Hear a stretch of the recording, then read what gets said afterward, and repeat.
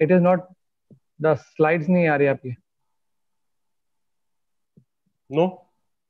नहीं नहीं not yet हाँ अब आ गया। अब आ गया। आ गया सर ठीक है?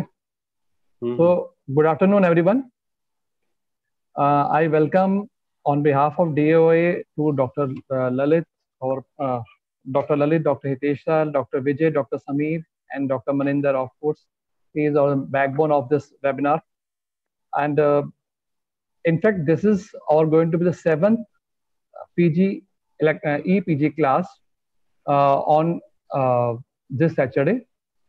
Uh, today we have got the pleasure of Dr. S.K. Sharma, who is our HOD in DDU Hospital.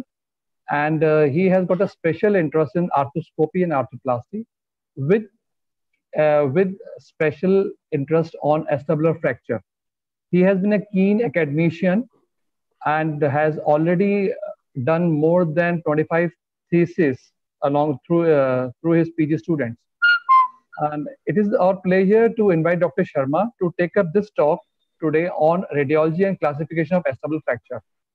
And uh, today we have got an, another guest as a spe- expert panelist, Dr. Professor Vijay Sharma from AIIMS. He will be available for to us and to uh, solve our uh, questions from the uh, various uh, uh, delegates, as well as anything which is being discussed among the core group. So without wasting much time, I will request Dr. Sharma to start uh, today's presentation. Over to Dr. Sharma, please. Thank you. Oh, Thank you, Vineet. Can, can you see the this full screen right now? Yes, sir, you are visible. So, good afternoon and welcome you all. First of all, I thank Delhi Orthopedic Association for giving me an opportunity to speak on this topic on radiology and classification of acetabular fractures. It's really great to have uh, with us an excellent team of experienced panelists in the field of pelvic acetabular surgery. And today I'm looking forward to have a lively discussion on this particular topic. So before starting, it's uh, better to have some idea of uh, this anatomy. Actually, proper interpretation of plain radiographs in CT to further classify the fracture is an essential step in the first and prerequisite before planning internal fixation and choosing an appro- appropriate surgical approach. So the innominate bone is a complex three-dimensional structure with a difficult anatomy, and the need for a detailed anatomical understanding cannot be overemphasized.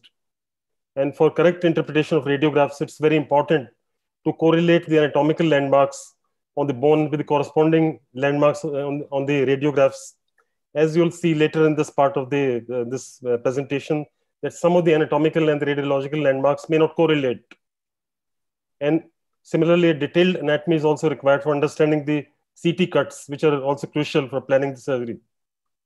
So as you see the pelvis from the front, uh, you can see the iliac crest.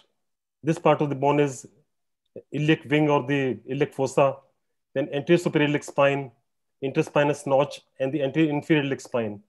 Then you have a groove here, which is psoas, uh, psoas groove, where the psoas muscle passes, then iliopectineal eminence, and then again the pubis part and pubic tubercle here. So all these are part of the anterior column. You, you can see the obturator foramen. This particular uh, view of the pelvis is when the pelvis as if uh, has been internally rotated about 45 degrees. Uh, what you see in an obturator oblique view. Again, the anterior spine, the anterior inferior spine here, the anti, uh, this iliopectineal eminence. You can see that the lower border of iliopectineal eminence is at the lower border of anterior horn of the articular uh, surface, anterior wall of the sternum. Then obturator foramen, the body of the ischium, and ischiopubic rami, and the posterior wall of the sternum and posterior horn. And the, in the center, the cotyloid fossa. So you must be aware what we are talking about in the rest of the, this presentation. So one must be sure about what landmark we are talking about. Now, this is another view of the pelvis, uh, which we see in iliac oblique view with slight external rotation of the pelvis on the affected side. So here we see the greater sciatic notch, the ischial spine, the lesser sciatic notch. The obturator foramen is not visible in this X-ray. You see the arcuate line or pelvic brim and the quadrilateral surface. Actually, this part of the flat surface of the inner pelvis is the quadrilateral surface. You can see the uh, this uh, iliopectineal eminence here, and again a groove here where the vessels pass. This part of the bone is on the medial side and anteriorly is the obturator canal where the obturator vessels are passing. And this is also forming a boundary of teardrop. So this part of the bone. Now, uh, this, according to the Letournel, uh, acetabulum is being contained within open uh, arms of a Y, where in the which are the two columns, the anterior column, which is a longer, this anterior half of the iliac bone, and the posterior part, which starts in the greater sciatic notch. And the acetabulum is said to contain between these two columns. Actually, the uh, supporting structure of the acetabulum are more important during the reconstruction. Uh, for reconstructing the acetabulum, we have to reconstruct the columns because we are externally aligning the acetabulum. So this anatomy is very important. So, uh, Vineet, can you uh, we are not uh, can you see the whole slide? I'm not able to see the whole it slide is, it, it is it is visible sir. It is very much visible. Uh, can we minimize this window?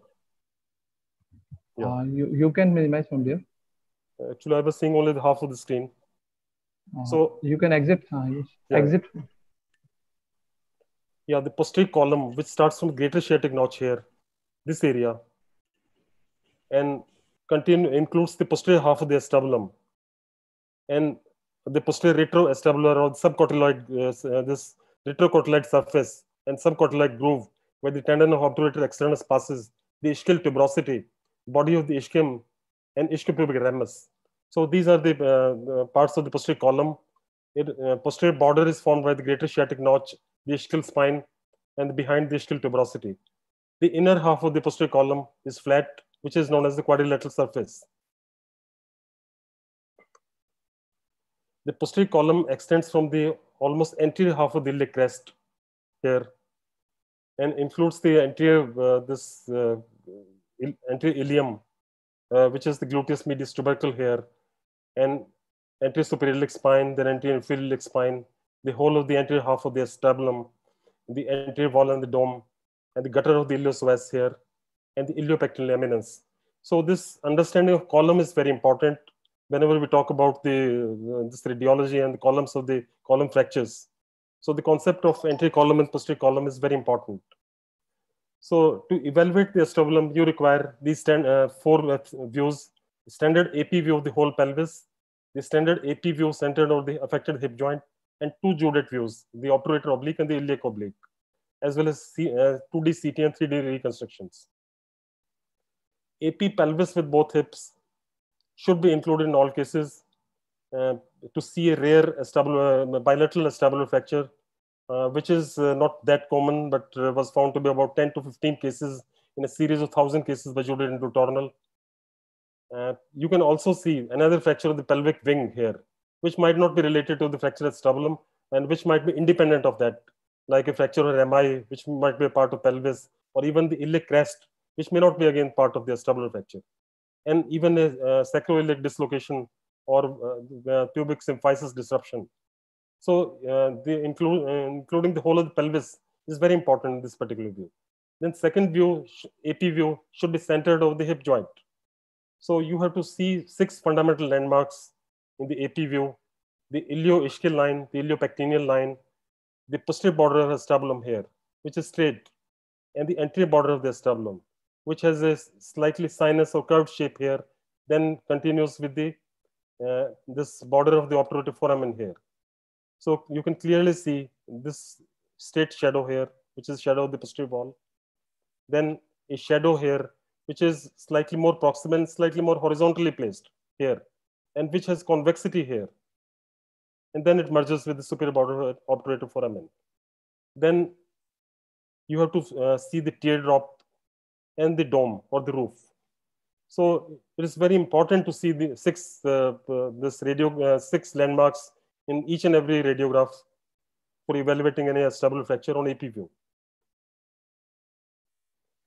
No, actually, uh, the radiological lines are produced by uh, rays, X-rays. Whenever a bony surface becomes tangential or X-ray beam is crossing a border, Otherwise, a line is not formed on the X-ray. So if you see the formation of iliopectineal line, the X-ray beam is uh, crossing this particular border and it is the shadows being projected on the X-ray film. So that's why it is forming a line. Similarly, ilioischial line is formed whenever a quadrilateral surface becomes tangential. It is not crossing, crossing the border here. So even a one centimeter wide strip of the quadrilateral surface here, when beam is tangential, may lead to formation of ilioischial line. And this is uh, this particular line is seen only in X-rays. There's no uh, such corresponding line on the uh, hip bone. And even if you tilt the pelvis slightly, this particular line will be lost. So since the beam is becoming tangential to this part of the acetabulum, you see radiological mark or line. And you can see that the whole of the surface is not necessary uh, for formation of this line. So here, only this short, uh, this smaller part of the surface is becoming tangential to the beam. So even a smaller area can uh, uh form a line instead of a wider surface. So in AP view, you see the iliopectineal line. Actually, the iliopectineal line in anterior three-fourth corresponds to the anatomical radiological brim. While in the posterior one-fourth, uh, this particular shadow is not formed by the anatomical brim or the arcuate line, but is formed by the uh, sciatic notch, as well as uh, the sciatic buttress, some of which uh, part of which becomes tangential in AP view. However, the ilioischial line, as I had already explained, where the beam is becoming tangential to quadrilateral surface, and it is a radiological line only, and which is a shadow of the quadrilateral surface. So these two lines are very important. Then teardrop. This particular U or this U-shaped, V or U-shaped uh, shadow here is the teardrop. So what is the significance of teardrop and how it is formed? The lower border of the teardrop here is from the ischiopubic notch or the superior border of the obturator foramen, while the external limb of the U here is formed by the cotyloid fossa, where the beam is becoming tangential in AP view. However, the external, uh, sorry, internal limb is formed by the obturator canal as well as the quadrilateral surface. This is the area of the obturator canal. So this particular uh, question about teardrop is also being asked in the exam even in otherwise plain X-rays, any examiner can ask about what is how the teardrop is formed. And this is especially important for interpretation of X-rays, how the relation of ilioischial line changes in relation to teardrop. And this was very important when CT was not available. Again, dome. This part of dome or the roof. Again, dome, uh, the shadow of the dome is only radiological line it uh, does not denote its particular surface. Actually, it is produced by the X-ray beam, which is uh, tangential to the most cranial part of the acetabular beam. And it is not showing this uh, that this whole surface is being uh, involved here. So even a small part, uh, maybe two to three millimeter, where beam is becoming tangential, so can show a particular line. And so it does not give an idea of overall integrity of the so-called anatomical roof. So this uh, particular point must be clearly understood that if you see a roof in a particular view, it is not giving that uh, the whole of the roof is intact, especially in case of transverse fractures. If you see this particular line, we have to find out where the transverse fracture is cutting here at this particular point and this to find out how much roof is uh, still remaining with the superior part of the acetabulum so as to plan conservative or the operative treatment. And this particular roof is different in all the views. Obturator oblique uh, the roof is uh, showing a different part. How, uh, however, in the iliac oblique, it could be a, could be a different part. So roof should be assessed in all the views. And it, it is does not matter that if roof is intact in particular view, the congruence is all right, or the area articulating with the sector of the roof is all right.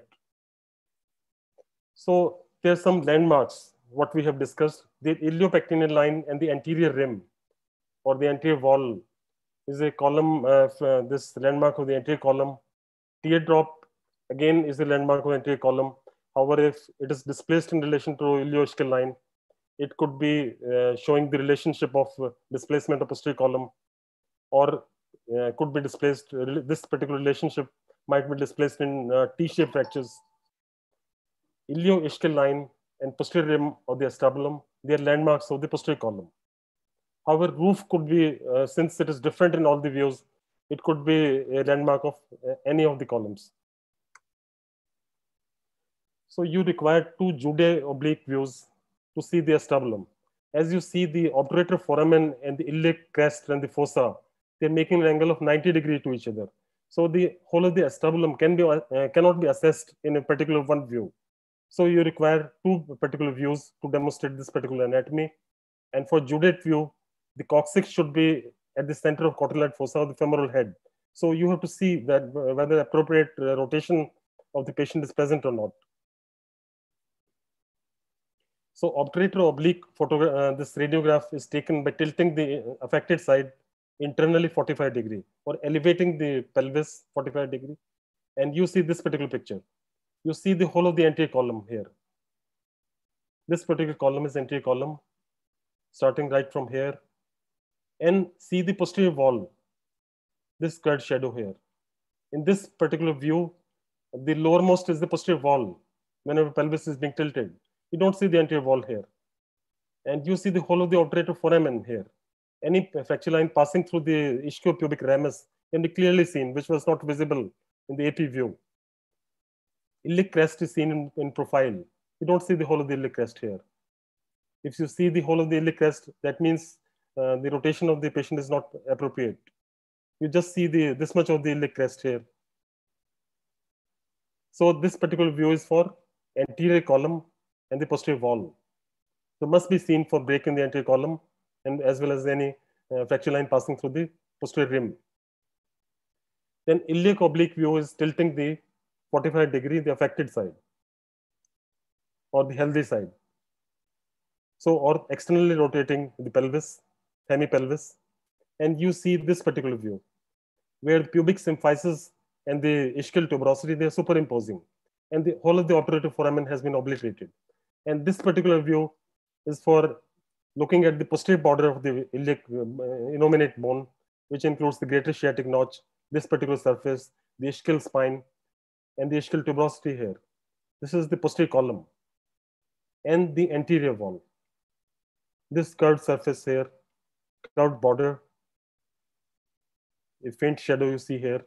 This is the anterior wall. So don't confuse that this might be the posterior wall on this side. In obturator oblique view, the lowermost structure was posterior wall. And in iliac oblique view, this shadow is anterior wall. And most important point is that you see the whole of the iliac crest here. So any anterior column or both column fracture can be easily seen, which uh, is cutting the iliac crest here. So the whole of the iliac crest can be seen here. CT is a useful adjunct to radiographic imaging and not a replacement of good quality AP radiographs. Uh, you take CT cuts at two millimeter uh, this distances, and one should utilize CT to better interpret the plain radiographs and understand the fracture line.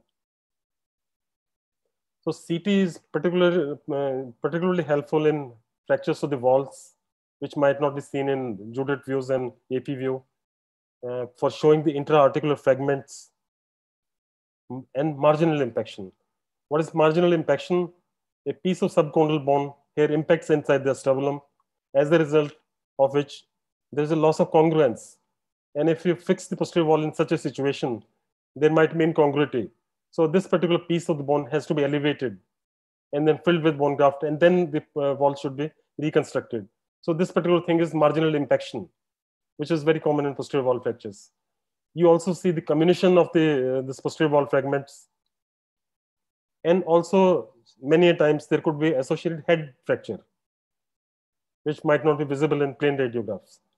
You also see the joint congruence and especially the evaluation of the posterior pelvic ring and whether there's any SI dislocation that can be better seen in CT images. So for 2D CTs, it's very important that you assess the four following four CT cuts. One is at the level of iliac wing. If there is a break in the iliac wing here or cut fracture line passing through the iliac wing here, then there could be a column fracture, especially of anterior column and both column fracture, or anterior column with anterior hemitransverse, anterior column with posterior hemitransverse. So this most superior cut at the level of SI, SI joint uh, evaluates the iliac wing, whether there's a break in the iliac wing or not. This particular cut, which has anterior, posterior, median, lateral borders here, and we you see a head uh, inside this uh, subchondral bone here. This assesses the superior dome. And this is, I will say, is the most important cut. A column fracture has a transverse orientation. However, uh, this uh, transverse fracture has anteroposterior orientation. Next CT cut is at the level of walls. This is again lower down. This shows wall fracture. And the lowermost CT cut, which is forming the roof of the obturator foramen, shows whether this, uh, uh, this uh, obturator foramen is fractured or not. And for sure, you can diagnose that uh, there is, if there is a break here in this area, in the top of the obturator foramen, that it might be a T-shaped fracture or a column fracture, which is passing, uh, separating the anterior posterior columns. So you have to assess these four cuts. Although uh, radiolo uh, this radiologist might be giving you so many CT cuts, but it's very important to look at these four cuts. So a column fracture has a transverse orientation. So this is typical of a column fracture, while transverse fracture has an anteroposterior orientation. However, a wall fracture has a 45 degree orientation like this. So 3D reconstruction are easier to interpret for the less experienced and also may help in preoperative planning as a teaching tool. Uh, you can uh, subtract the head and however they are not as accurate for examining the marginal impaction, uh, minor fracture lines or intraosseous fragments inside the joint. accurate interpretation of radiographs and classification of the fracture determines the surgical approach of the acetabulum. So it's very important uh, to interpret the radiographs and classify a fracture. So way back in 1964, it was Judet and Letournel in their classic paper in Journal of Bone and Joint Surgery. They uh, this uh, uh presented this classification of the acetabular fractures, and since that particular time, this uh, classification has not much changed. And this is the only fracture where this uh, so uh, this classification original classification has been followed and there is no change in this and Judet and Letournel, after detailed radiographic examination of three uh, standard plain radiographs, AP and both Judet views, they uh, classified the acetabular fractures into five elementary patterns and five associated patterns. So these are five elementary patterns. The anterior wall, the anterior column, this is the posterior wall, the posterior column, the anterior wall, and the anterior column, and transverse. So why these are considered as elementary? Because either the fracture line is involving one part of the column here, or in this case of transverse fracture, it is a single line, just for the simplicity of the fracture. However, this particular uh, line in case of transverse fracture is cutting both the columns. However, it, it is different from bo uh, both column fracture, which we will be seeing in uh, the coming slides. So don't confuse a fracture which is crossing both the columns and a both column fracture. So these are five elementary fractures, uh, fractures of the acetabulum, the posterior wall, the posterior column, the anterior wall, the anterior column, and transverse. A combination of elementary patterns is associated patterns, the posterior wall with posterior column, a transverse fracture with posterior wall, a T-type fracture, which is where the upper part is just like a transverse fracture, and a vertical limb passes through the ischiopubic notch and cuts the ischiopubic ramus. This is a T-shaped fracture. Then anterior column with posterior hemitransverse fracture. Here, there is a fracture of the anterior column, and only the posterior half of the lower part of the acetabulum is cut transversely here. There's still an intact bone which is attached to the ilium and which is articulating with the axial skeleton here through the SI joint. So just see this part of bone, which is still intact. However, in both column fractures, no part of the acetabulum is intact. This T or Y is formed above the acetabulum, and the whole of the acetabulum is free. And this is a sort of free uh, floating type of the acetabulum. Only this part of the ilium is articulating with the SI joint, and this whole part of the lower ilium is free. So this is a both column fracture. So we'll one by one uh, discuss what are the radiological features and how to identify these patterns in elementary as well as associated fractures. So this is a posterior wall fracture. In AP view, this is the posterior wall fracture, is a crescent shaped fracture. And what you see here is the, you, there is no image of the posterior wall, which would have been a straight wall here. The anterior wall is visible here. Iliopectineal ilioischial lines are maintained. And the obturator foramen is intact. So all radiological landmarks except the posterior wall here are intact in this AP view. Obturator oblique view is the best view to examine a posterior wall fragment, which can show the size as well as comminution. And you can see that there are no other uh, associated patterns. The iliopectineal line or the anterior column is maintained. The whole of the obturator, foramen is intact. And similarly, the iliac oblique view, the posterior border of the innominate bone is in continuity, no fracture here. Uh, the posterior wall fragment is superimposed here on this. And the anterior border of the acetabulum can be seen here.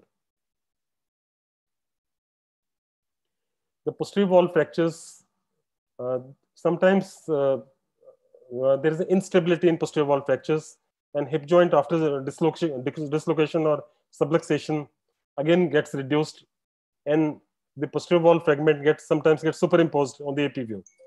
So you have to clearly look for uh, the, all the radiological landmarks before saying that there is no posterior wall fracture. However, in the same case, if you take an obturator oblique view, this fracture is clearly visible, also showing a hip dislocation. So posterior wall fracture could be involving the, uh, either it could be involving the dome, which is uh, posterior superior, where part of the roof is separated, or it could be pure posterior wall fracture, or could be posterior inferior, which is totally confined below the roof. And the detached fragment includes the inferior horn of the articular cartilage and the subcotyloid groove.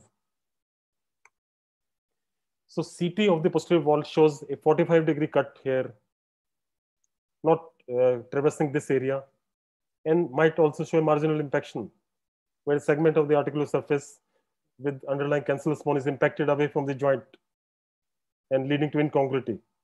So uh, this, uh, this axial CT is very important for uh, this uh, delineating the posterior wall fractures. Then posterior column fracture. This is another elementary type uh, fracture, posterior column. It is not that common, about 3 to 5% of the acetabular fractures. Here, the fracture line starts from the greater sciatic notch here, includes the whole of the posterior half of the acetabulum as well as the dome, and then passes in the ischiopubic notch here, and then cuts the ischiopubic ramus. So this whole area gets separated, and femoral head usually follows the uh, this uh, posterior column fragment and displaces it medially and posteriorly. And this particular injury is particularly unstable, and most of the time requires internal fixation. This is how the posterior column fracture looks on Judet views. There's a displacement of ilioischial line. However, the iliopectineal line is totally maintained. Then the relationship of teardrop and ilioischial line might be displaced. So this distance between the teardrop and ilioischial line, which is straight line here, might be increased. Then in obturator oblique view, the whole of the anterior column is totally intact. And you see a cut here in the obturator foramen here, which is characteristic of posterior column fractures. An iliac oblique view clearly shows the posterior column fracture with displacement uh, near the greater sciatic notch. So this is how the anterior column uh, fracture looks in Judet views. Next elementary fracture is anterior wall fractures. Again, it is a very rare fracture, about 1 to 2% of the acetabular fractures. The fracture line becomes near the anterior inferior iliac spine. It involves the anterior half of the acetabulum here.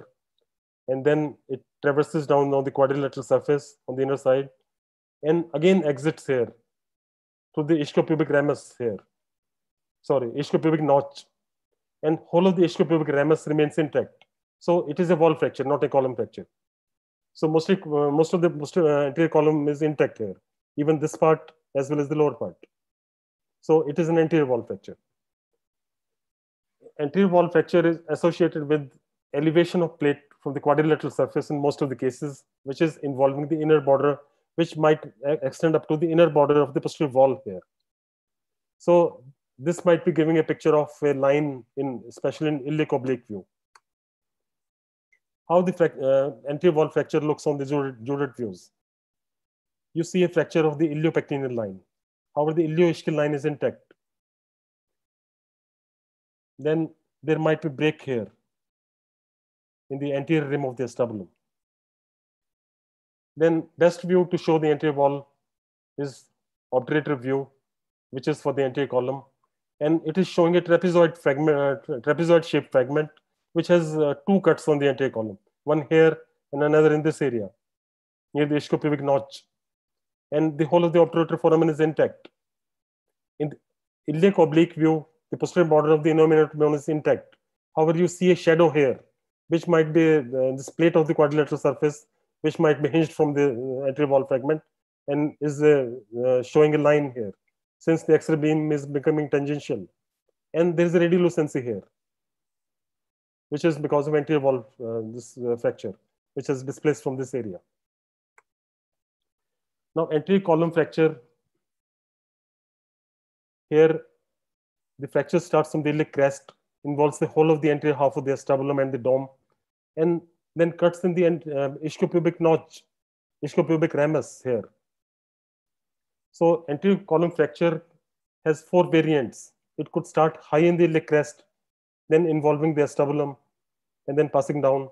Or it can start uh, at the level of anterior superior spine, which is intermediate fracture of the anterior column. Or it might start just near the anterior inferior iliac spine, with a similar course of fracture line lower down. Or it might be starting at the iliopectineal eminence, which is a very low. So high anterior column fracture, intermediate anterior column fracture, low anterior column, and very low anterior column fracture. So these are variations of the anterior column fracture. But the, uh, in all these cases, obturator foramen is being fractured. You just see here. Most of the time, it's near the this pubis instead of, instead of near the ischial tuberosity.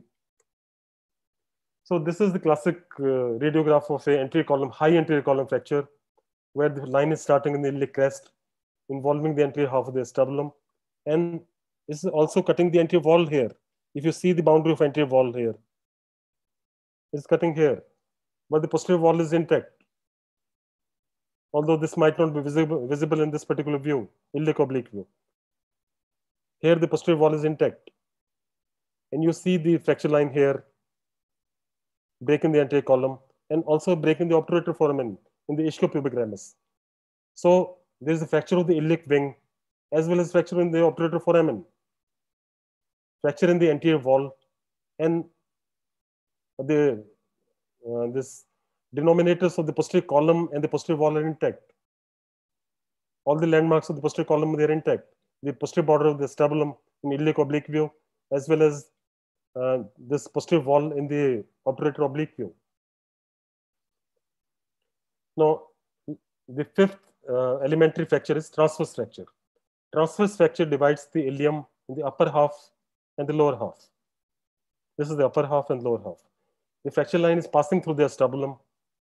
It could pass just near the dome or the roof, which is called transtectal fracture, or just near the junction of the non-articular and the articular area, or the just near the cotyloid surface, which is juxtatectal transverse fracture. Or it might be passing through the non-articular area, not through the roof, but only involving the anterior and the posterior horns. So it is infratectal transverse fracture. So femoral head in transverse fractures follows the inferior ischiopubic fragment, and there is a medial displacement leading to central dislocation of the lower fragment. This is the typical uh, feature of a transverse fracture where iliopubic, uh, sorry, ilioischial and iliopectineal lines, they're cut at the same point, at this particular point.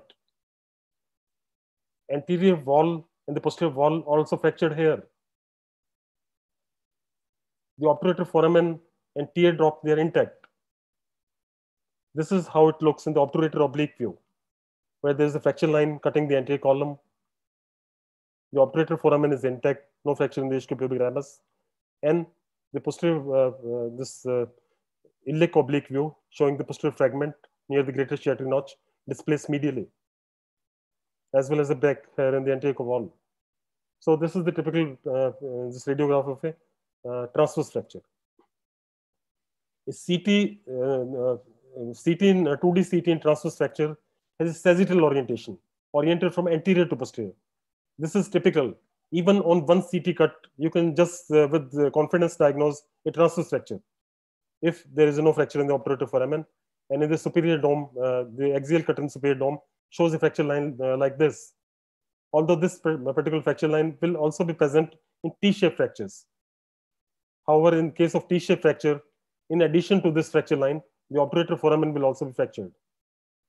So this is the typical CT of a transverse fracture, where there is sagittal orientation of the CT cut, 2D CT. Don't confuse this particular with a wall fracture. It is the same fracture line which is going down and giving a sagittal orientation. So don't say that it is a wall fracture. It's just a component of transverse fracture which is going down. This is a superior cut and this is inferior cut. Now we come to associated fractures. Associated fractures are where uh, two of the elementary fractures could be combined, like a posterior wall fracture combined with the posterior column fracture. This is one of the associated types. Again, it has some features of the posterior wall, uh, posterior column fracture, displacement of ilioischial line, break in the anterior wall, and you superimpose, you see a superimposed fragment here, which is best seen in an obturator oblique view. Again, the wall fragment. And again, a posterior column fragment seen in iliac oblique view, displaced medially and starting in the greater sciatic notch. So this is the posterior column with posterior wall fracture.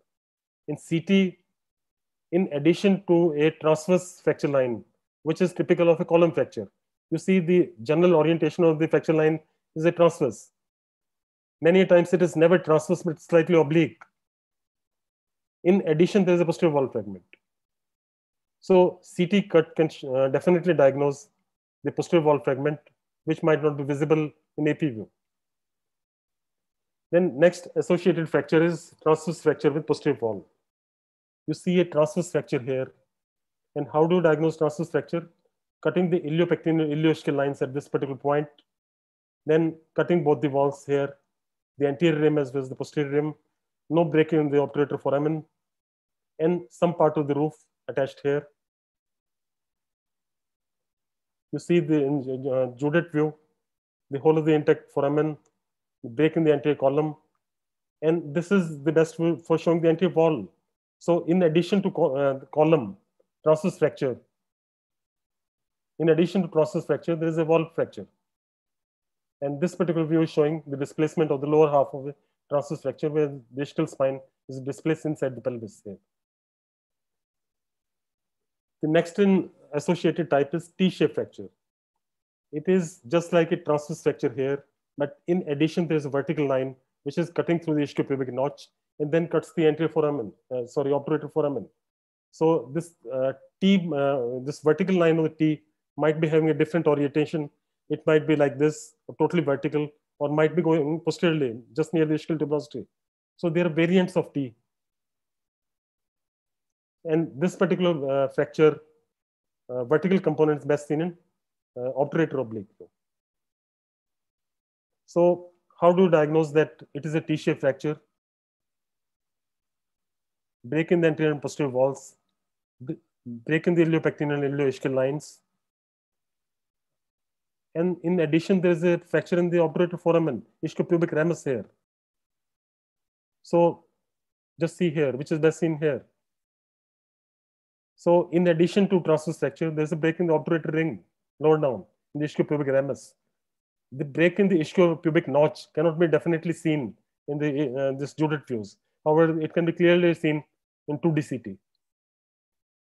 In iliac oblique view, you see the displacement of the lower half of the T, uh, lower half of the T-shaped fragment, the anterior or the posterior, which is displaced inside.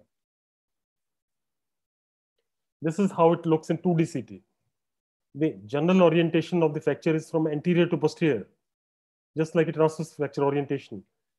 However, the quadrilateral surface in a cut just superior to the obturator foramen is also cut transversely.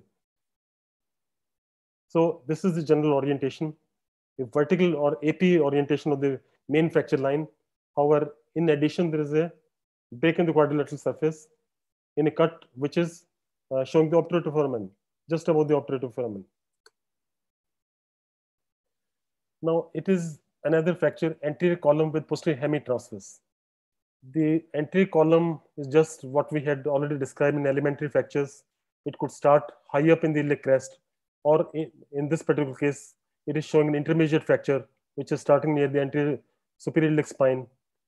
However, there is, in addition, there is a transverse cut here.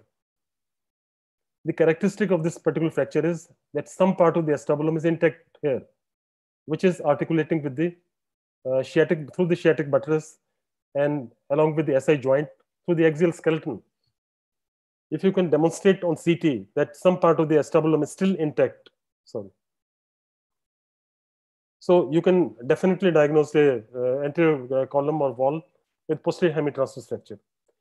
So the anterior uh, component could be wall or a column. In this particular case, the fracture line is starting from the iliac crest and leading to a break in the obturator foramen here. So obviously it is an anterior column fracture. So anterior column fracture,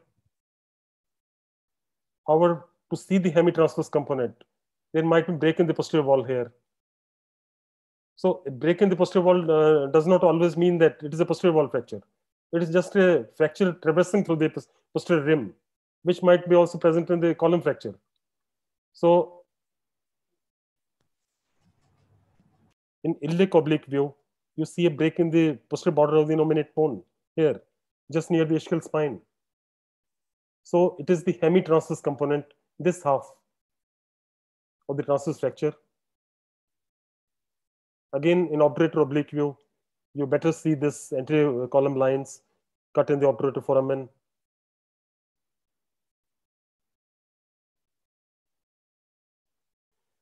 Now CT can, uh, with certainty, diagnose anterior column with posterior hemitransverse fracture. Just have a look at this CD, uh, sorry, 3D CT of a anterior column with posterior hemitransverse fracture. It is a high anterior column fracture, which is starting here in the iliac crest and then going in the ischiopubic ramus here. And from the middle of this area, it is going posteriorly, just near the ischial spine, where some part of the uh, acetabulum on the lateral side is intact with this particular fragment, and which is communicating with the sciatic buttress, which is this part, and articulating with the SI joint. So CT, in the upper part of CTs, you'll see this particular picture of anterior column, which is a transverse orientation. You see this particular fracture line is starting high up in the iliac crest and has a transverse orientation. So it is a column fracture. However, in lower half, this particular line has a sagittal orientation or anterior-posterior orientation, like this. So it is showing this particular component. So transverse fracture has in the upper uh, CT cuts a coronal orientation. However, in lower CT cuts, it is sagittal CT orientation. And if you can demonstrate that in this particular cut, some part of the acetabulum is still intact with this part of the bone. So it is not a both column fracture. So it is essential to have some part of the acetabulum still articulating in case of an uh, anterior column with posterior hemitransverse fracture. So it is a common fracture of the acetabulum, maybe accounting for about 20% cases. Here, the, both the columns, the anterior column and the posterior column, they get separated. And the T or Y is formed just above the acetabulum in rest of the fractures, you saw, uh, especially in T-shaped fracture, the T was formed below and the, through the acetabulum, not above here. However, in this particular fracture, a T or Y is formed above the acetabulum. So as a result, this whole lower half of the bone, including the anterior column and posterior column, they get separated. Plus, they also get dissociated by this vertical component. So the posterior column is separate, anterior is separate, and whole thing is separated from this part of the intact bone which is the upper half of the ilium here. And this is one of the most complex type of acetabular fracture. Just have a look at this uh, fracture in AP view. There's a break in the ilioischial and iliopectineal line. There's a break in the obturator foramen as well. Then what you see, the whole of the acetabulum is medialized, but it is still congruent with the roof. Just see here And this particular femoral head is also superiorly displaced as you compare to this side. So there is superior and medial displacement of the femoral head. The joint congruity is still maintained in AP view. There's a break in the iliopectineal ischial lines, as well as break in the obturator foramen. And in iliac oblique view, there's also a break in the iliac crest and the iliac wing.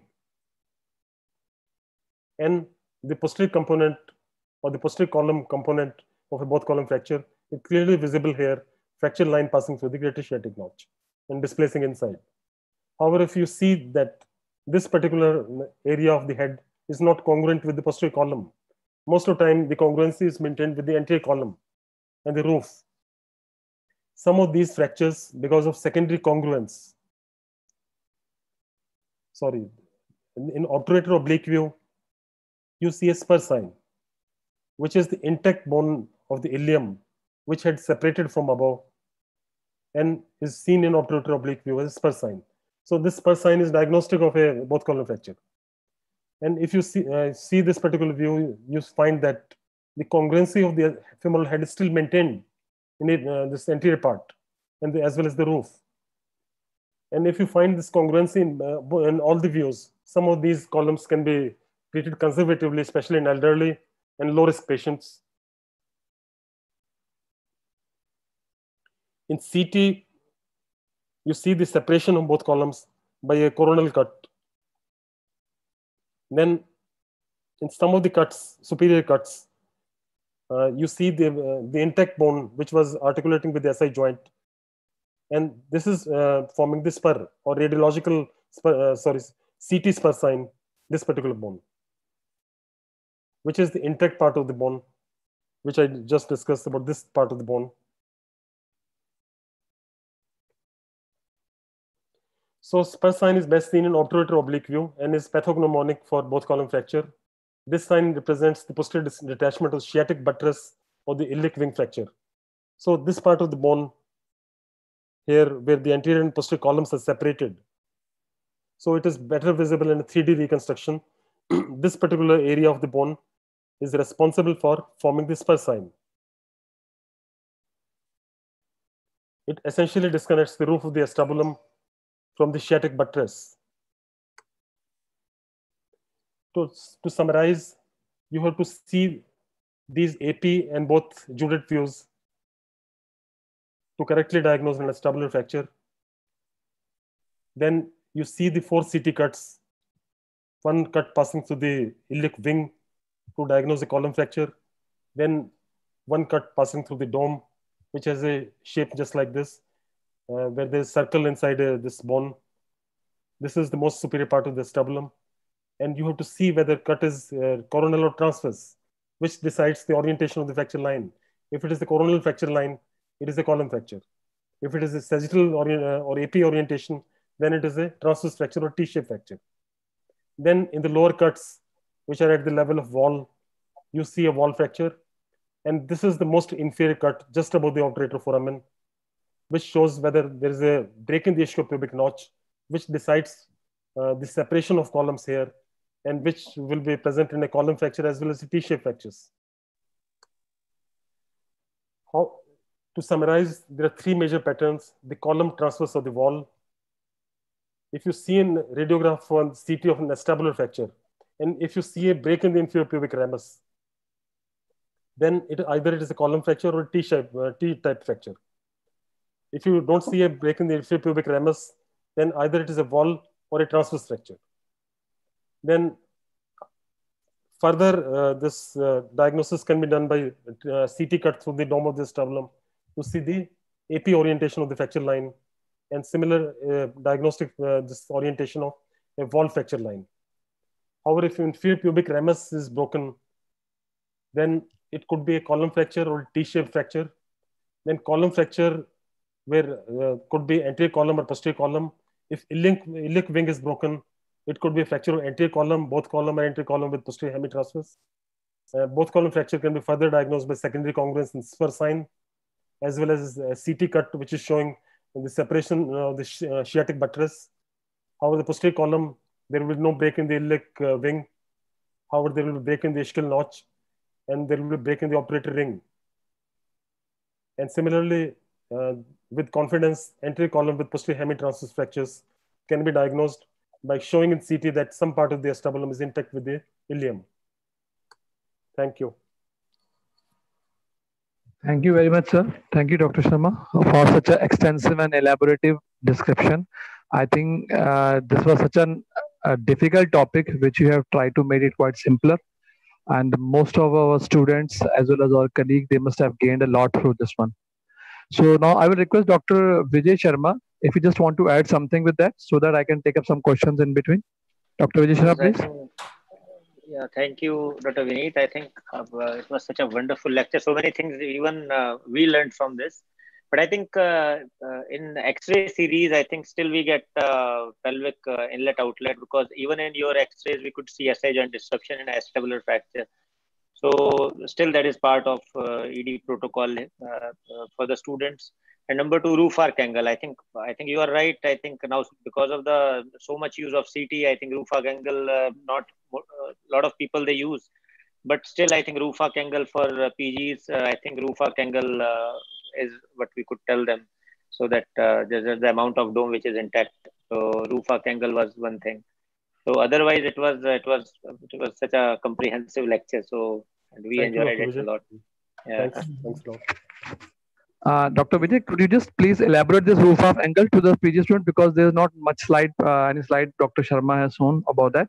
If you can actually, just add, roof, yeah, roof arc angle actually from the center of the head, you'll draw a line vertical and then a horizontal line uh, or a line through the uh, proximal part of the fracture. So it will it will show how much proximal portion or dome of the fracture is, uh, you know, if it is more than 45 degrees, then obviously fracture is quite low. If it is less than 45 degrees, it means fracture is quite proximal. So it, it has utility in transverse fracture. It has utility in T-shaped fractures. Sometimes T-shaped fractures you operate and other side you don't operate because roof angle is quite uh, low. It is more than 45 degrees. So amount of dome which is which is attached to the proximal portion, I think uh, this, that is what we can uh, learn. But in CT also, I think uh, the proximal one centimeter of cut that is also criteria. So that has uh, sort of changed uh, because less and less number of doctors they are relying on roof arc angle so they look, they look at Olson criteria from the top. They look at one centimeter. If there's no fracture line there, automatically uh, it is more than uh, it is uh, more than 45 degrees, and most of these fractures they can be treated non-operatively. So Olson criteria is a substitute for roof arc angle uh, in a CT scan. Dr. Lalit wants to say something. Yes, Dr. Lalit, please. Thanks, Dr. Sharma. It was an excellent uh, lecture. It was almost like a piano class. It was so mesmerizing, actually. The, the, the pictures were amazing. The description was classic, and it was such a complete uh, sort of uh, lecture. I hope this recording is available for the postgraduate because most of the courses we attend, this part of the, the whole course is to be done in 10 or 20 minutes. So it is always a hush hush. So right. I appreciate your lecture. I think it was a very, very useful lecture. And um, I just wanted to re-emphasize that uh, X-rays and CT both are required, and uh, it is important for postgraduates to understand in the post-graduation itself that they need to get the special views done. Nobody is willing to do the special views, neither the technician nor the resident. But if you get into the habit, only you get only then you get to see them. And uh, when you may, go for a decision making, you start from an X-ray, you go to the CT, and you always come back to the X-ray that's how you complete your uh, picture on what you're going to plan to do in the surgery. Exactly. And intraoperatively, you know, these are the same views which help you intraoperatively on deciding from where you started and how much you have achieved. So intraoperatively in the C-arm, again, you use the same uh, special views to understand. So I should just uh, congratulate Dr. Sharma and uh, thank you, Dr. The PGs thank were so much. amazing lecture. Yeah, thanks, Dr. Lit. Thanks for your nice comment. I think this is definitely available in the YouTube. We'll be putting it on YouTube for this one. But uh, my only request to you, uh, would you please just tell to the PG students, he, does getting the nowadays, you know, the, all the PG students are very uh, fascinated with the, this uh, extensive, expensive uh, investigation. So, is there any role of MRI also in diagnosing fracture acetabulum, or does only CT and X-ray are sufficient? Dr. Lalit, please. If you want to make it less complicated, there is no role. So even if we want to decide for the surgery, no, we don't. We we. I I don't think I remember ever I have done a MRI to decide upon the management of an established fracture. That's So it. I- I- Dr. I think- Vijay, Yeah, I think No, there's absolutely, no role for MR. absolutely, So- absolutely no role, no role of MRI because uh, So I the think most, that it is- will be showing that articular cartilage injury, and in uh, whatever case uh, you have to operate. So uh, Yeah, but- prognostically as but- well, it has no particular value as far as yeah and, then the best best part was uh, i think your uh, uh, description about the 2d cuts which is very important for pg students because nowadays for students they have started looking at uh, straight away 3d reconstruction and you know planning. But the way you told marginal impactions and head fractures and particular pieces which are much better uh, seen on a 2d cuts rather than a 3d so i think they should be in a habit of uh, going through what dr Lalither said starting from basic x-rays to specialized views and then to the basic cuts of CT and then gradually go over to complete CT and then come back to x-rays. Because x-rays are available in the operation theater. You cannot get a CT in the operation theater. So you have to have idea about all the cuts, all the imaging sequences, uh, plain x-rays. So if you MRI has MRI has no role. Absolutely, I don't remember so many years of practice, but uh, uh, not even a single case which MR has made, Right. made any difference. Or even we have advised MRI for acetabulum uh, just to look at anything. It will give huge amount of uh, you know uptake here and there, and it is not going to give you any information. You know? We are looking at the bony Alright. portion. We are going to plan the fixation of bony part. So only Absolutely, literature absolutely. get, uh, if you look at literature on MRI and acetabulum, you will only get a few research articles in which they have looked into the integrity of piriformis and obturator externus to fly uh, to sort of make it as a predictor whether AVN will happen in this patient or not. But these are only research papers and uh, they don't come into the treatment algorithm of cyber Yes, that's lovely. That's fantastic. I, I think, the take home, yeah? the take home message for the PG uh, student is that we don't need to rush for the MRI for all these patients. Only thing which you require is the CT scan at the most and the X-ray with the special views. Am I right, sir? C- CT is always required, and absolutely there is no Yeah, role of CT. MR. Yes. No, no. CT For is a the, must for evaluating Yes. any acetabular fracture, and absolutely Mhm. there is no role of MR. This should be the message I think uh, should be. yes, that's these- that's it. And X-ray special views are very important. The Judet views are very important Yeah, absolutely. to diagnose them. Sir, now, uh, hello, doctor. Yes, Doctor Sharad, please. Please, Uh, Doctor Sharad, please. Excellent presentation of a very difficult topic. You made it very look very simple, and particularly the algorithms which you gave in the end, I think they're quite uh, uh, easy to understand. Then, Uh, one question I want to ask that in Judet views, uh, uh, what we see in obturator oblique view, we see more of uh, uh, anterior column, Hmm. right? And Yeah. the other way around uh, in the uh, in the iliac views. What about the walls? Like uh, we want to see the uh, posterior wall. Will that be better in a uh, obturator view or a uh, Uh, view? uh, posterior wall is uh, uh, more, better seen in obturator oblique view, and maybe may not be seen in iliac oblique view. So just It is- opposite. It is su- superimposed over the anterior wall, so Right. you might not see anterior wall in the iliac oblique view. However, it is best seen in AP view or obturator oblique view. Okay, right. And the other question I want to ask Vijay, Dr. Vijay, uh, you said uh, roof arc uh, angle you can uh, roof, arc you can assess in a CT scan. So you mean uh, you said one centimeter of would be there. Uh, No, no, it's like it's not assessed, but uh, I think there was an article Olson criteria is there in which uh, because earlier it was only on the basis of X-rays like uh, roof arc angle, but what he calculated on a CT scan from the dome, if you take cuts, uh, axial cuts for one centimeter, ten millimeters, if there is no fracture, so automatically roof arc angle is uh, you know less than forty-five degrees. all right. So you take about it's eight not- to it's- 10 cuts one Yeah. one mm. Then if there is no fracture, Yes. then it is. I mean, that's it.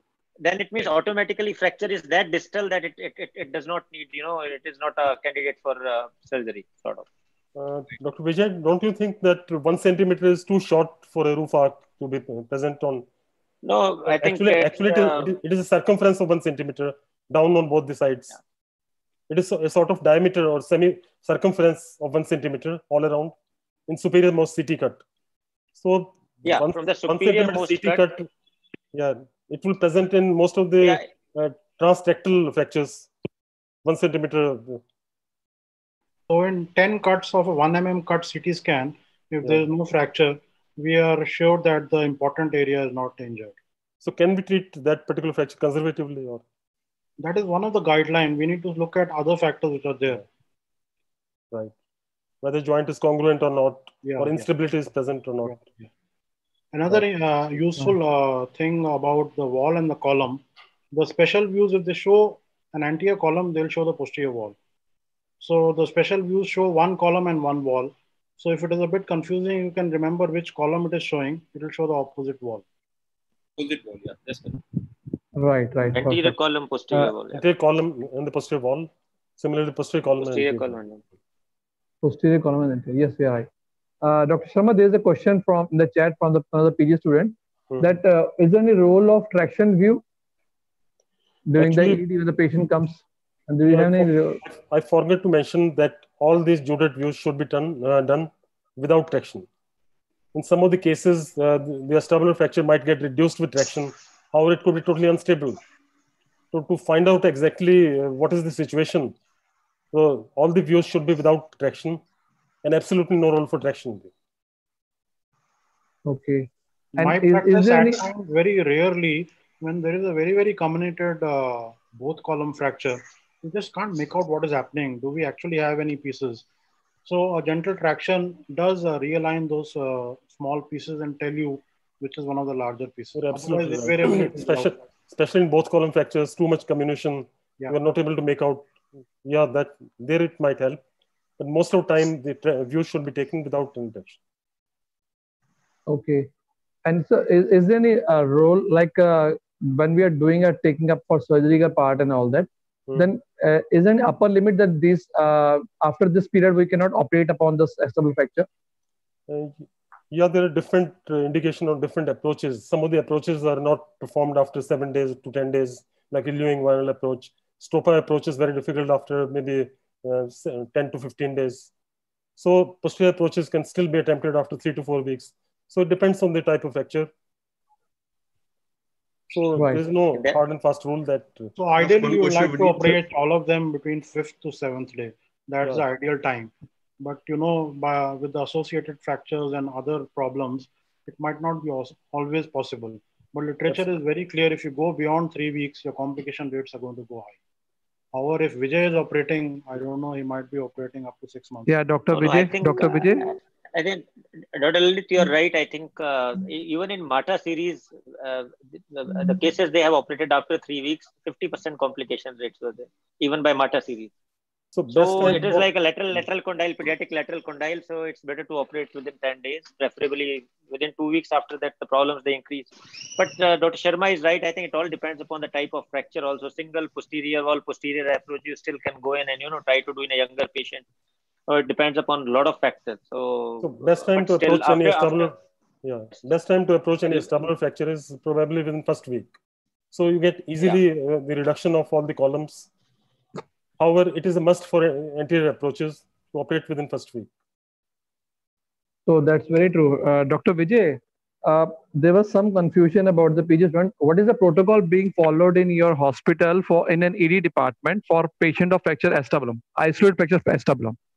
Like after stabilization, you directly admit the patient and uh, take him to the OR immediately, or you wait for some time, put him on no, traction? no, no, not at all. And no patient goes to OT from emergency. I think they are very well. They are uh, sort of investigated. Uh, they are imaged properly, and they are planned in a proper list. So, uh, only indication would be like uh, they reduced it and they nerve palsy or it is irreducible dislocation. Then, then also we try to do it early. It does not mean that we are going to do it at four o'clock in the morning. So maybe first case in the next list, but uh, they are properly imaged because if you go to OT thinking it is dislocation will reduce and there are 10 pieces in the joint and you have to plan a reconstruction, you have to plan a iliac crest grafting, so many inventory changes. So I think uh, acetabulum fracture is a fracture which you have to plan properly. I think maybe one or two hours, it does not make any difference. So it is not to be taken up at awkward time in the night because team is also a problem. You have to have a proper trained team, you know, the proper trained uh, residents, those who are acetabular uh, residents. So I, I don't think uh, such cases they should be taken up at uh, night two o'clock. I think next day morning is the best thing. Vijay, one more Okay. question you can answer. Dr. Vijay. Ah, yes, yes, Vijay. Dr. Bagadia, please. Like in both column fracture, we, how you have now- plan? we are going We are going away from PG course now. Okay, last question. In both column fracture, both column fracture, how you plan? Which one you to fix first, anterior or posterior? Like just some yeah, basic tips. I think, yeah, same same thing has been asked by Dr. Manocha. Do not go for also. I think advanced he's also- external course, only the basic tips. Actually, associated both column fractures, primarily injuries anterior. Dr. Lalit, I'm right? So it is a dictum. You start from periphery towards acetabulum, start reconstructing from the top, go towards acetabulum, reconstruct the anterior portion, and then look at the posterior portion. Because primary fracture pattern in anterior with posterior hemitransverse and associated both column, they are anterior. So if you are lucky enough, you have got a big, uh, you know, posterior column piece, so you can fix it from anterior to posterior side. Most of the times we fix from one approach only. But uh, there are a lot of associations. Sometimes there's a big posterior wall chunk, so you will have to, you know, do another approach. But such injuries, they are usually most of them they are planned from anterior approach and fixing posterior from anterior. If you're not able to, then you can you have to switch that. You have to do another approach. You're right. Dr. Lalit, Lalit can add something. Dr. If Dr. Lalit wants to add something, he can. add. Dr. Lalit, please. So I think uh, in care of acetabular fracture, there are two very important factors. One is the fracture and the other is surgeon. I know why Vijay is smiling. Most of us who have started acetabular fracture started from the posterior side. And as we've understood things, we've gained confidence, we've learned more, we have moved towards the anterior side. So when we started our practice, we used to look at the iliac view and see if the posterior column is broken or not and jump on the posterior side. Now we are looking at the anterior view and trying to see whether there's a posterior wall or not. If there is no posterior wall fracture, there's no confusion, go anterior. But if you go by indications, the, the part of the fracture which is more displaced need to be addressed. So that is one rule. Other rule which uh, Vijay described very well, you go from top to bottom. And if there is a, a multiplicity on top to bottom, you combine top to bottom and back to front. So that includes the SI joint if it is involved. Thank you. Thank Oh, you. that, that's that's great. Uh, yes, Dr. Vijay, please. Yeah, Dr. Vijay, you are saying if you something. go, yeah, yeah. If, if there is displacement uh, in the ilium and uh, you are trying to approach posteriorly, trying to push the posterior, the posterior column or unreduced proximal portion. So I think associated both column most of the times, you know, approach approaches are anterior, plus minus, uh, very rarely posterior, uh, as, like in association with anterior. So you start most of the times with anterior. I think uh, I think Dr. Lalit would agree with I, me. I think, Dr. Deep, I have a comment to make that in, in both Yes. column fractures, uh, you don't have any fixed thing if you start from the uh, posterior side. Something first, uh, both the columns are free and can easily displace. So you have to first fix the anterior column with the intact part of the ilium and start reconstructing from that area. And since most of the injury is anterior in both column fractures, as Dr. Vijay has already mentioned, and even in anterior column with uh, posterior hemitransverse fractures, most of the injury is anterior. And posterior column is just a single piece which can be tackled by putting a lag screw from the uh, anterior side only, from the pelvic brim. And you just pass two, uh, one or two screws fixing the posterior column. And you have something uh, which has already been fixed uh, to the intact part of the ilium. So if you start from the back side, you don't have anything to, the whole column is free. The anterior column is moving. So absolutely there is no role of uh, Uh, starting from the back side in case of both column fracture. Thank you, sir. Okay, So that's, after- that's great. yeah. Acha, Sharma sir, there's a one question from the PG. Is there any absolute indication for treating any patient conservatively? Yes. Or all the patients of ulcer has to be treated co- operatively? There are so many fractures of the sternum which can be treated conservatively. One is low anterior column fracture. As we have already discussed about the roof arc measurements, if the dome is intact, either in CT cuts, which we have discussed about 10 millimeter of uh, the roof is intact, or if you um, draw a roof arc, you have 45 or 50 degree in all the views, a roof arc of 50 degrees, then and some of the both column fractures in elderly and uh, medically unfit patient, but there's secondary congruence in all the three views. So such fractures can be treated conservatively. And minimally displaced fractures, less than two millimeter displacement. So not each and every acetabular fracture uh, requires surgery. So many can be treated conservatively with the elbow traction. Yes. So Am I we right? have to find out uh, find out whether instability is present. Instability is one. Loss of congruence is one. And how much dome is uh, um, intact dome is remaining with the acetabulum. That's an important criteria.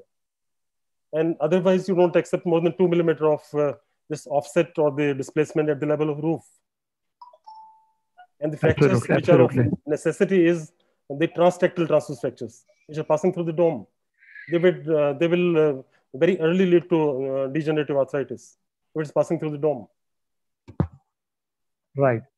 Acha, uh, Dr. Vijay, anything you want to add on this one?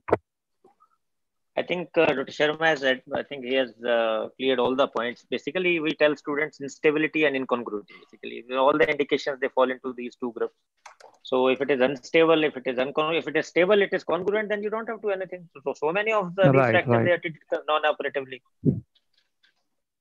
So it is basically instability and the congruence. That is which is the most important criteria. As well Right. as the displacement at the. So, yes, so- minimal displacement. If it is less than two millimeter, as you said, will should does not need to be operated.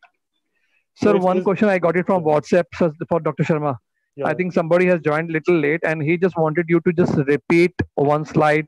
Uh, what is anterior column and posterior column? A basic question. If you can just repeat first your first of your slide, at least you can tell him. Uh, shall I go to? Uh, Yeah, screen share. You can just uh, share. yeah. Is it visible? Right. N- Not yet, sir. Not yet.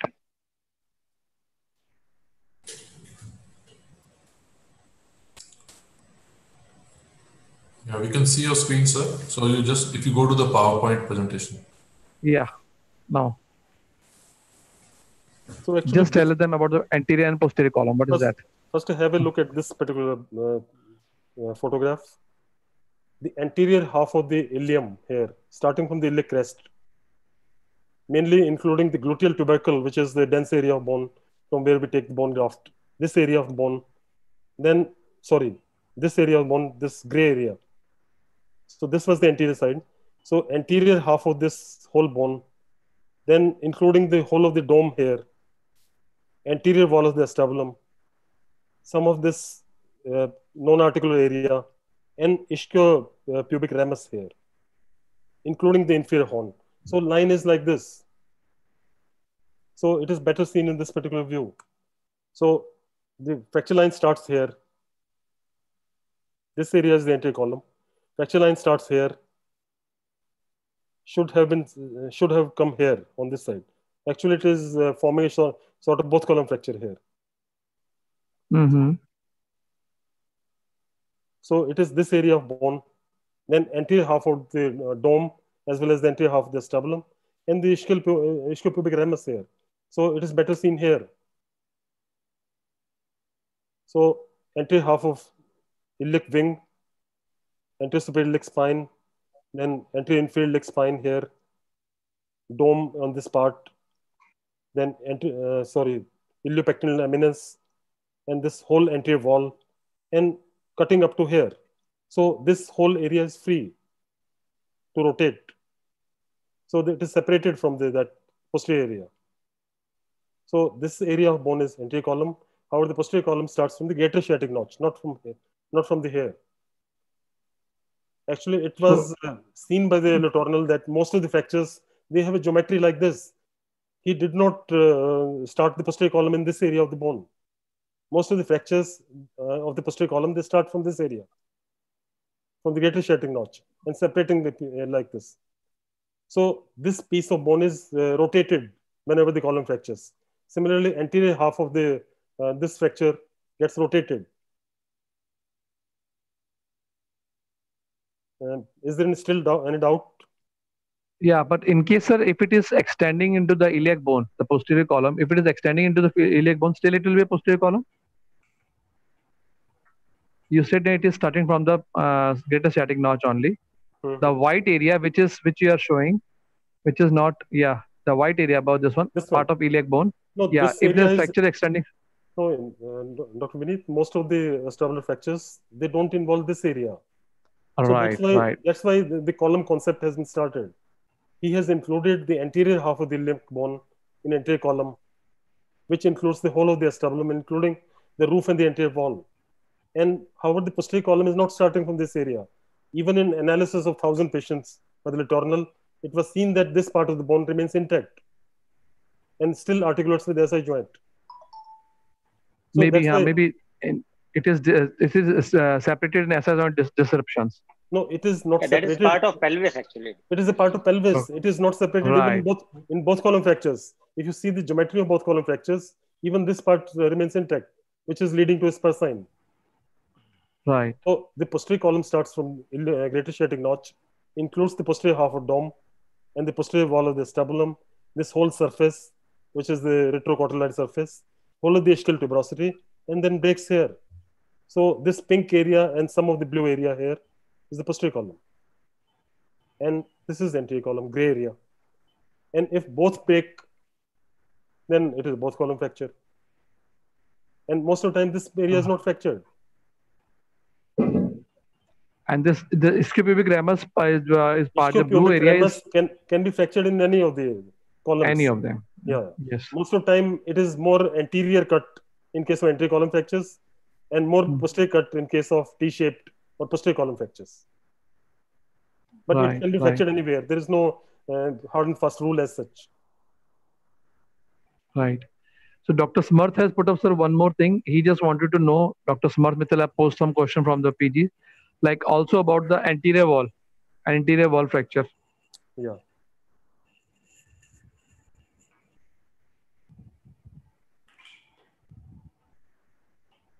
Anterior wall is just a middle portion of a anterior column, which is involving the dome and the anterior wall only. The acetabulum, uh, the supporting structures, uh, suppose this bone as well as the bone lower down here, it is not broken. So it is involving a part of the dome, whole of the cartilage, as well as the iliopectineal eminence here. So this is a partial fracture of a column. So wall fracture involves only the articular surface area. In, but in addition, the iliopectineal eminence and the anterior, it exits at the anterior inferior iliac spine here and ischiopubic notch here. So don't think that it is only a cartilage. So it is a wedge-shaped area of bone which is separated from uh, this particular area of the acetabulum, where the uh, general integrity of this uh, iliac bone is maintained. You just fix this area or buttress this area. So wall fracture is nothing but a partial fracture of a column of the middle segment. Middle However, the supports of the column, like in this case, the anterior half of the iliac wing, as well as this ischio- ischiopubic ramus and the pubic They are bone, intact. they're intact. So it is just involving the dome, the articular anterior wall, and iliopectineal eminence, as well as ischiopubic ramus here. Uh, sorry, uh, uh, ramus of the pubis, superior ramus of the pubis, not the ischiopubic ramus. So there are two cuts, one at the level of uh, uh, superior ramus of pubis, other at the level of uh, anterior inferior iliac spine, just below that. And Right. a portion of wall gets separated. And the, similarly for the posterior wall must be the posterior part of the. posterior column. So here, Yes. this was anterior wall only. Similarly for the Right. posterior wall, So this is so this area of bone, starting from the greater sciatic notch, then it is not uh, involving the lower down area. So the integrity of the column is still maintained in this. So although it was including the dome as well as the whole of the wall, as well as the retroacetabular surface, some of the surface. Again, I said it could be involving the dome, or it could be pure posterior wall fracture, or it, it could involve the inferior horn. So there are different varieties of the wall fractures, or it could be just involving a margin of the with sm- only a small amount of articular cartilage. Still, that will be wall, or it could be a massive wall, which might be almost equivalent to a column fracture, but still not uh, rupturing the, uh, the obturator foramen. So the crucial part is that uh, the obturator foramen and the whole of the ischium is not ruptured, which is the support of the posterior column. However, there could be a break in the uh, sciatic notch in massive posterior wall or extended posterior wall fractures. But most of the time, it is the margin of the sternum which is involved, which involves some of the cartilage. That's great.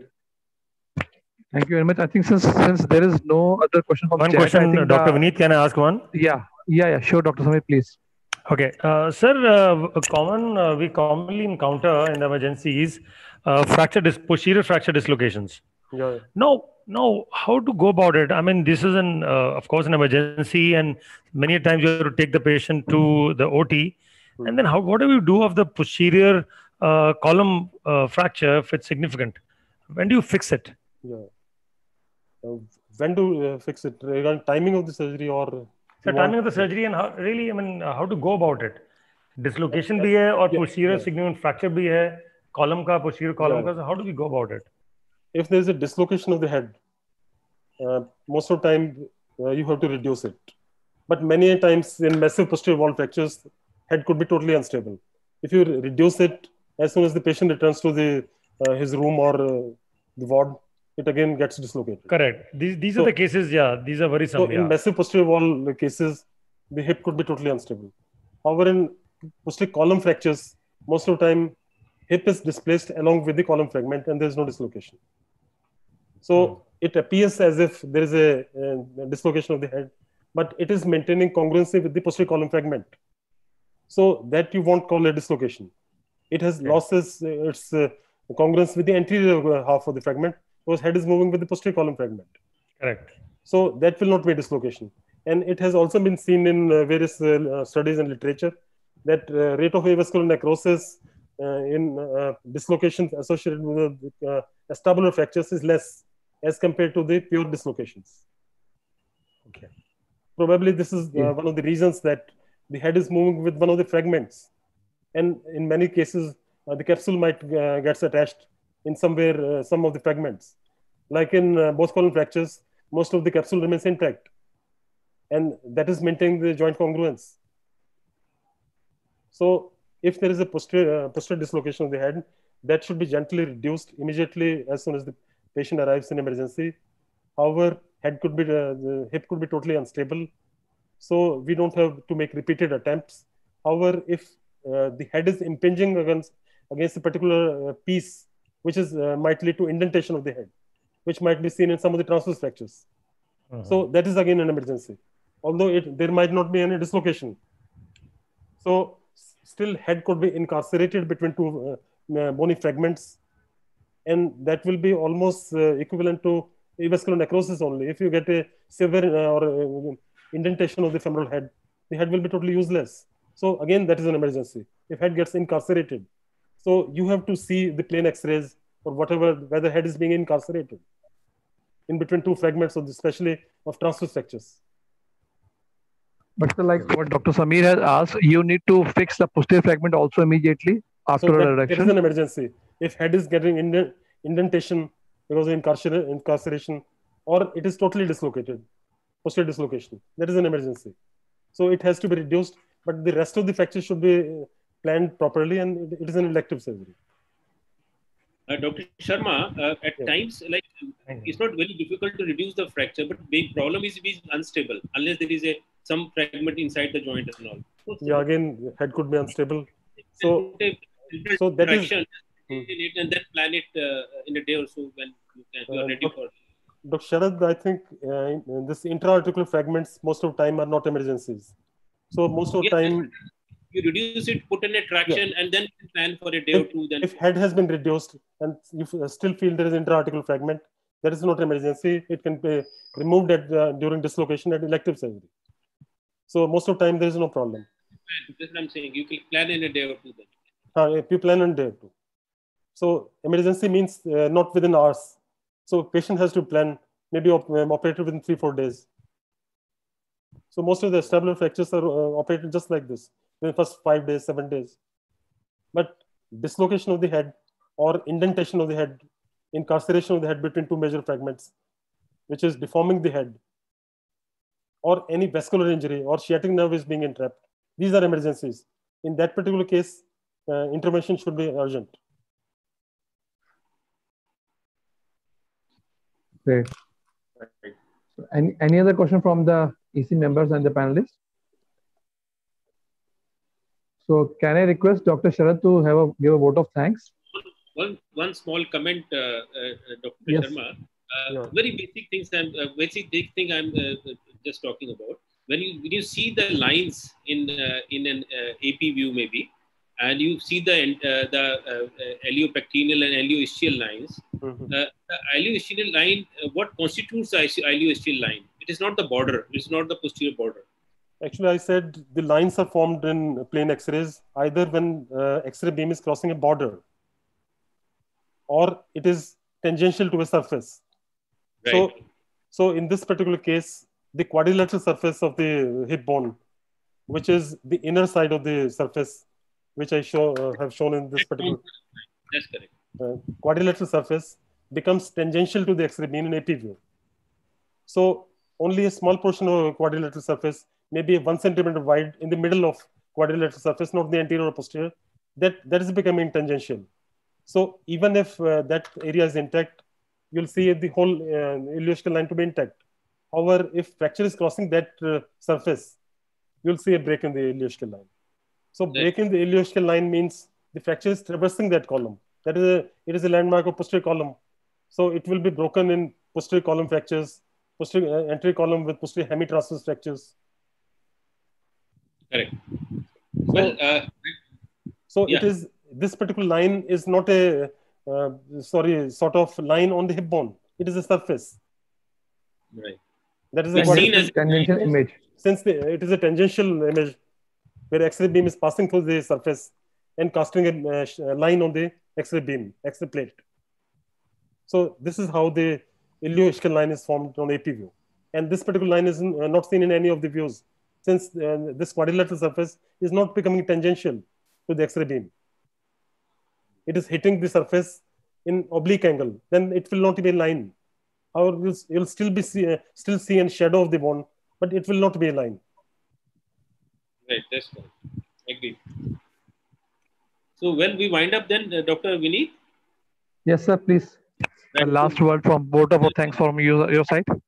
Very, very illuminating talk. I mean, uh, I had gained a lot. I'm sure all of us must have, uh, besides our our postgraduates and other faculty members and uh, other delegates who have joined us. Thanks, Dr. Sharma, for such a good talk. And uh, uh, thanks you, to Dr. Vineet and Dr. Uh, uh, Maninder to arrange and organize and coordinate and uh, uh, moderate it. And all our faculty, uh, particularly Dr. Mani, Dr. Uh, Vijay, uh, and uh, Dr. Sameer, and all to Dr. Bageja to join us, and all delegates who have joined us. Uh, thanks a lot. And uh, till we meet sir समर्थ ने समर्थ ने अभी भी video on किया है again. Dr. Sampath as well. अभी Thank, thank you, very much, sir. Thank, thank you very much, Dr. Mani, Doctor, thank, thank you very much, sir. Thank you, Dr. Okay. Thank you, Dr. Maninder. Thanks, boss. Can I just say that Samarth was the backup today for the video, uh, YouTube video. So he provided very good backup. Thank you, thankful to Samarth yes. for doing that. And hopefully he's the next person now who handles things. Yeah, yeah. We, so you are passing the baton to Samarth? no, not at the moment. But yeah, if he wants to, then I will do it no, no. It's a, we can always share the responsibilities. I think that's how I'll do it. Thank you. right, right. Sure. Thank you, Thank boss. you. Thank you, Thank you, Dr. sir. Mani. Bye. Thank you, sir. Thank you. Thank you, Take sir. care.